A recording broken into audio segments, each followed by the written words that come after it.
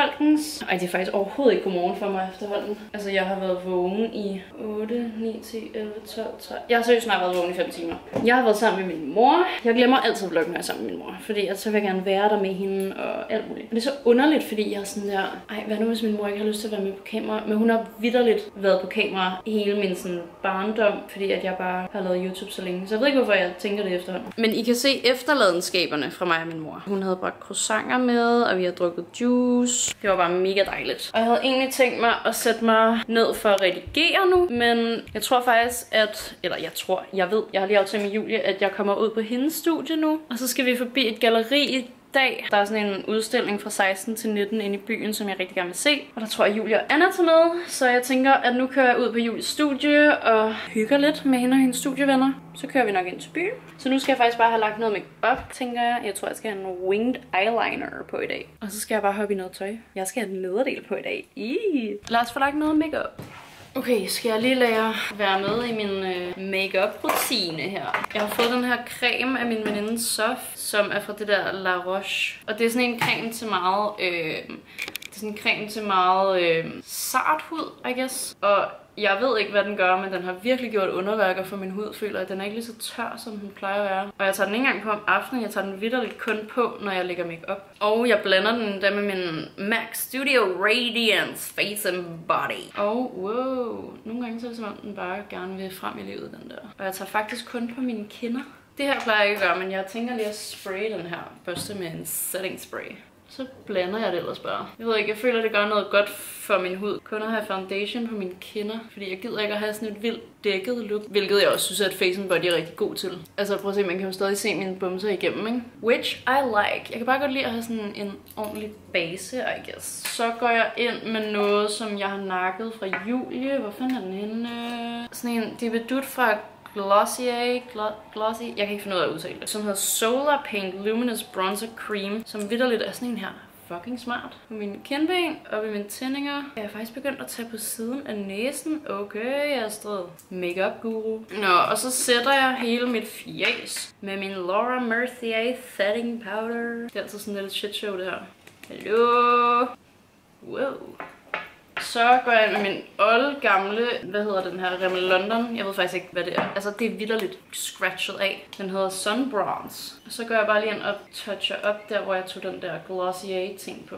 Det var huden. Nå nej, vent. Jeg er begyndt at bruge highlighter igen. Okay. Det er meget underligt. Jeg har ikke rigtig brugt makeup, men nu fordi at Julia og jeg er klistret op og ned hinanden, så får jeg jo pludselig lyst til at bruge makeup, fordi hun også gør. Det er så pænt at putte highlighter på sin Amors Men Så bruger jeg den her fra Gosh, som hedder Brow Lift Lamination Gel. Og den begyndte jeg faktisk at bruge efter, at jeg så, at Emilie Britting anbefalede den. Måske faktisk i hendes makeup rutine eller et eller andet. Den er fucking sindssyg. Jeg har aldrig prøvet, prøvet en uh, brow gel, der er så god. Og så børster jeg faktisk bare det forreste af min øjenbryn sådan lidt op. Jeg begyndte at sådan... I starten, da jeg brugte dem, der klistrede jeg dem bare op og virkelig lavede det der lamination look. Men nu er jeg faktisk bare begyndt at sådan lige børste den forreste del lidt op, og så lader jeg resten være. Jeg føler, det ser mere naturligt ud. Jeg kan ikke finde ud af, om jeg vil have eyeliner på i dag. Hmm. Det kan være, at jeg bare skal tage mascara på, og så skal jeg tage mit outfit på, og så kan jeg vurdere, om jeg synes, det er et godt look. Vi tager mascara på. Bukker lige dem her først. Åh, oh, jeg er virkelig blevet dårlig til at bukke mine øjenvipper.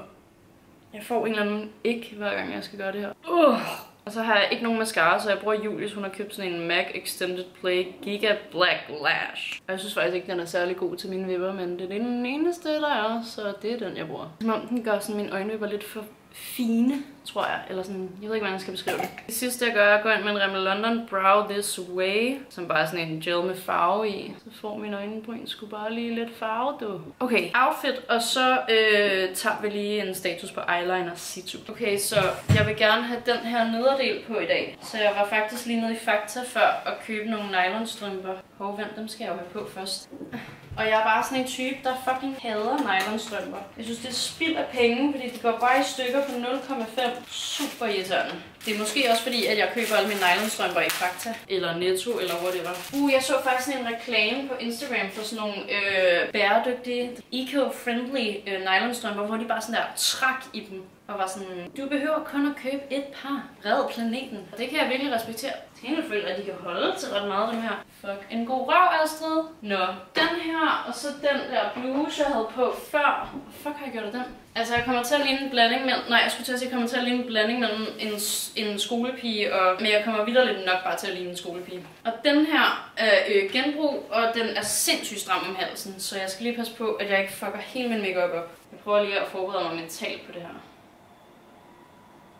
Jeg skal lige se, hvor pæn min makeup er. Okay. Åh, den er så fucking stram. Så hun også i går. Fik jeg nu deodorant på. Jeg ved ikke engang, om det er et mood, det her med den her nederdel sammen med sweateren. Ja, jeg føler lige, jeg har lige taget støvler på, de fra Mista. Jeg skal lige over og se det i et spejl. Please, lad det være et godt outfit. Okay. Jeg føler, det er fint nok. Og så tager jeg altså Julius læderjakke ud over, så tror jeg altså godt, det kan være meget nice. Jeg kigger lige igen. Ja, ja. Ja, ja. Det er så fint. Det synes jeg, vi kører med. Ikke flere tøjkriser til mig i dag. Jeg har faktisk ikke haft nogen. Det har hele tiden været planen, jeg vil have det her på. Så faktisk ikke nogen tøjkriser til mig i dag. Godt. Så skal vi bare lige rydde op. Jeg skal lige have lagt alle mine makeup ting på plads, og så skal jeg lige rydde op efter mig og min mor, og så kan vi komme ud af døren. Jeg føler virkelig, at sådan her. Skal jeg tømme opvaskemaskinen? Uh, jeg hader at røre gamle mad. Arne. Okay, så er vi i bilen. Jeg kan seriøst allerede mærke, at jeg sveder. Det er insane. Mm-hmm. Vi skal ud til DMJX. Jeg ved, at I ikke kan stå der, imens jeg kører, så vi ses derhen. Mm. Og vi får pizza. Mm.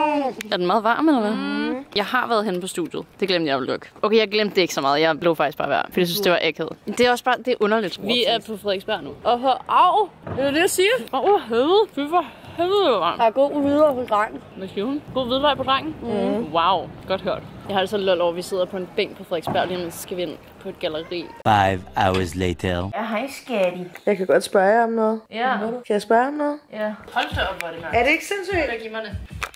Så gør vi lige noget her. Altså, så bliver det ikke særlig god kvæld, men nu er der lidt mere lys. Men nu kan man se noget. Ej, det er hyggeligt, hva'? Gud, jeg har en detalje. En detalje? Jeg ikke kan se på kamera.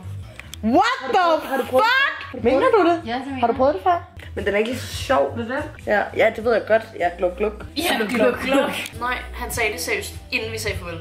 Hvad? Og så var han sådan, vi ses! Vil du ikke please love mig, at du klipper den samtale, sådan at du klipper alle de spicy ting ud, men at det så bare bliver sådan, hvorfor ser du så fucking mukken i krukken ud lige nu? Ej. Skal vi gøre det på os alle sammen? Okay, jeg har gør det på mig. Altså, de er jo fucking tydelige på mig.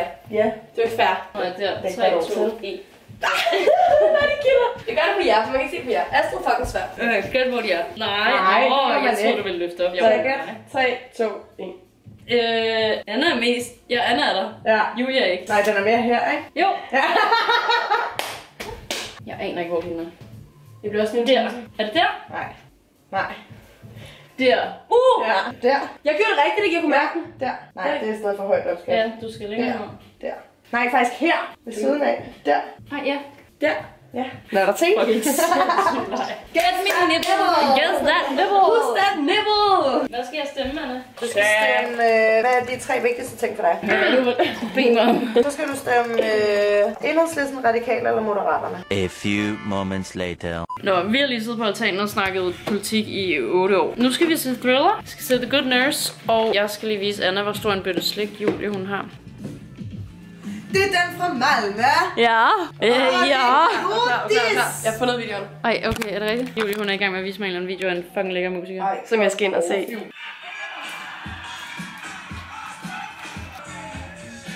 Øh, hvad synes du om filmen, Anna?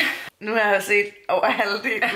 Anna faldt i søvn. Men det så var rigtig godt. Jeg faldt ikke i søvn, fordi at den var kedelig. Jeg synes, den var fucking god. Seriøst. Jeg har lyst til at give den 8 ud af 10, det siger jeg bare. Okay, sindssygt. Altså, jeg synes, den var ægte god, og det var præcis det, jeg havde lyst til at se. Dejligt. Ja.